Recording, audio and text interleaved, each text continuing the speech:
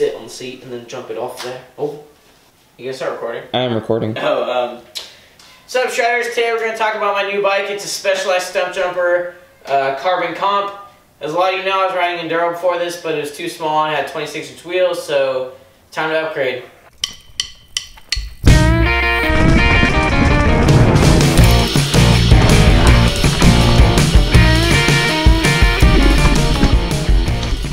So starting up front, Shimano Deore XT brakes. I'm probably going to end up swapping these out for TRPs or SRAM codes. They don't really have enough modulation for me and the stopping power just isn't as good as the guides were. So the fork I'm running up front is a RockShox Pike. It's got 60 PSI in it. I'm liking it so far, but I think I'm going to put another volume spacer in it to kind of make it a little bit more progressive. And then the wheels running are Stans No Tubes Rapid 28. 28 millimeters uh, inner width with Stan's 3.30 hubs in it. Uh, I really like the sound, it gives a nice ratcheting. Yeah. So the shock we're running is the Fox Float X. Uh, I really enjoyed it. I've been running RockShox on my Enduro before this. Uh, haven't bottomed out with this and I've hit some big drops, so it's a really progressive shock. And yeah, I'm running 165 PSI in it right now. And then I don't ride with a backpack anymore because I have the SWAT toolkit now. I carry a tube, pump, and then tire levers and a snack in there. All fits in there perfectly. Running with the POC race bottle, it's about 17 fluid ounces in there. And that's about enough for a 10 mile ride. But anything more than that, I would definitely carry a, a pack with me. But if you have this bike, I would definitely get a shock without the piggyback because then you can put a bigger bottle in here. This is the only one that'll fit. And I would really like to carry like a 25 ounce bottle for larger rides.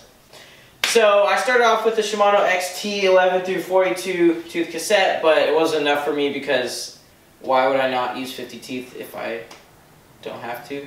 Do I? Why would I not use 50 teeth if I can use 50 teeth? That's better. Uh, so I went out on Amazon. They have everything there, and I got an 11 to 50 tooth cassette because I didn't want to buy the Eagle because that's like $400 for the GX, which is still really expensive, and I don't have money. This was $70. Long cage XT shifter derailleur. Uh, first time running carbon cranks. SRAM XX1 with 32 tooth chainring. Carbon cranks are really nice. Definitely can tell the difference. It's a lot lighter. Um, first thing I would do if you get carbon cranks is put crank booties on there so you don't scrape them up. And then specialized Benny's pedals. With the 510s it almost feels like I'm clipped in and it helps the jumping and dabbing my foot on corners. Yeah. Uh, reverb, 125 mil dropper post, no complaints. But overall, I really enjoy the bike. It's a lot better than my Enduro. The 27.5s roll over all the rocks really easily. It's still, I haven't gotten a chance to jump on it yet, but we'll get to that soon. Hopefully it doesn't feel like a truck in the air. And then it corners really well. I'm surprised at the big wheels, and it's a large frame, which is kind of a little bit big for me. But we measured the frame, and it's actually it's 18.5 inch, which is kind of small. So tires, Maxxis Minion DHF, Specialized Butcher on the back. I'm really digging the Maxxis. It holds well in the corners, but when I'm rounding corners, when I get to this back end, it kind of slides out. I don't know if that's because I shred so hard, you know, digging into the corners, but I'm probably going to put a Shorty or a DHR on the back because I don't really like, I've never really liked Specialized tires. So yeah, Maxxis is definitely the way to go for me. So this bike climbs really well, definitely better than my Enduro.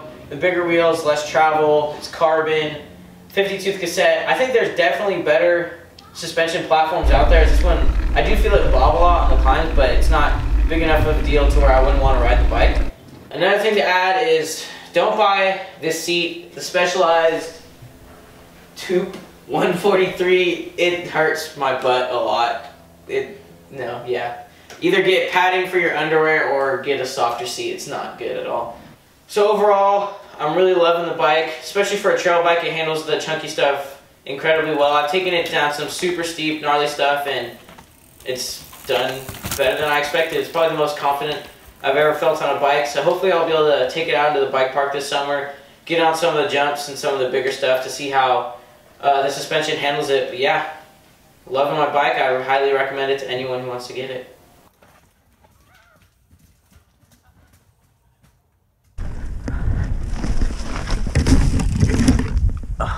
than my Enduro does, it's lighter, Jacob's twerking.